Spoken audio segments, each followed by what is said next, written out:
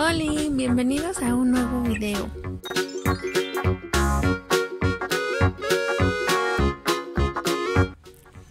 Vean, ahorita los pollitos andan afuera. Bueno, todos, los pollitos y los grandes, todos andan afuera porque hoy vamos a hacer limpieza en el gallinero. Yo ya barrí, quité toda la pluma que sueltan pero hace falta quitar todas las plastas de caca que se van formando. Por ejemplo, aquí las gallinas se echan y siempre hacen caca en un solo lugar. Como pueden ver, aquí se va formando toda la plastota de la caca que va cayendo de toda la semana y pues es importante quitarla. Después pareciera que ni hay nada, si se pueden dar cuenta parece como que tierra extra y ya pero pues no, si es la caca y entonces hay que quitarla. Y esa de todos modos sirve para, para abono para las plantas. Aquí ya mi ayudante, mi amor, estaba comenzando a quitar las plastas. Y así mismo vamos a tener que quitar todas las de hasta allá. Entonces yo le ayudé un poco barriendo. Y ahora él me va a ayudar a quitar lo de las cacas. Vean, ya está quitando la mayoría de las plastas. Al final queda todo bien planito, o sea, quita como que todo lo que está con borde. Eso, eso es caca. Y sí se junta bastante, pero sirve un montón para las plantas. Hace como 2-3 años, eh, un durazno que está ahí afuera daba sus duraznos bien chiquitos y bien ácidos, parecían limones. Y desde que tenemos el gallinero comenzamos a echar todo esto, todo esto ahí a la tierra de la, del durazno. Y este último año dio sus duraznos de mayor tamaño y de un sabor no tan ácido. Y ya dio duraznos bien grandes, bueno, tampoco tanto, ¿verdad? Pero sí más grandes a comparación de los duraznos que había dado hace años y de un sabor diferente. Ya no parecían tan limón, ahora sí ya sabían más a durazno, tenían un sabor como que más aceptable. Yo la verdad los, los de hace años no me gustaban mucho por lo ácidos que estaban, pero ya los de este año sí sabían diferentes. Para que vean que el utilizar la caca de gallina como abono sí funciona.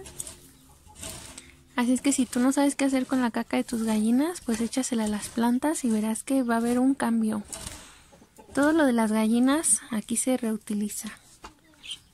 Por eso es que me gusta tener gallinas porque dan huevitos y aparte su popó sirve de abono. Vean qué diferencia. Ya se quitó toda la caca.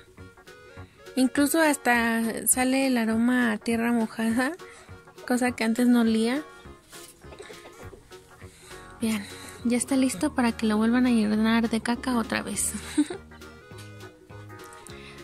¿Se acuerdan que en videos pasados eh, pusimos todo esto de la cal con agua? Era para lo para evitar que se formaran los corucos.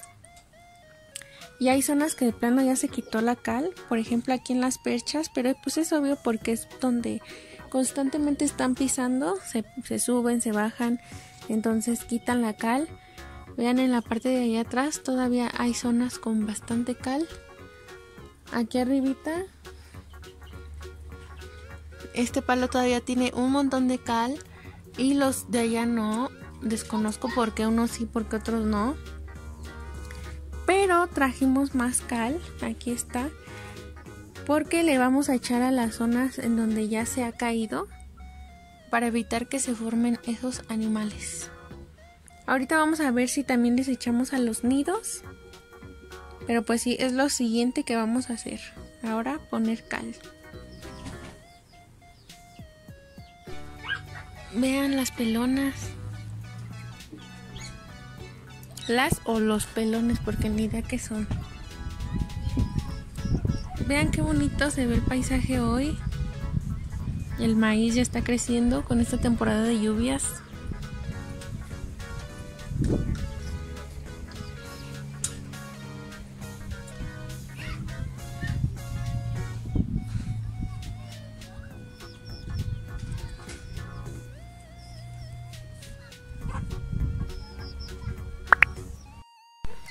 Vean, aquí anda toda la pollada. Fui por semillas, ya conocen la cubeta. Ven esta cubeta y se vuelven locos. Y es que ya los voy a meter porque chequen, ya va a llover. Vean cómo ya se nubló todo. Vienen unas nubes muy negras de allá.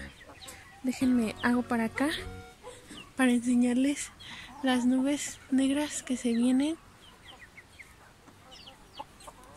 Entonces como ya no tarda en llover, ya mejor ya los voy a meter. Ahorita mi ayudante, mi amor, anda ahí adentro del gallinero porque ya metió los nidos.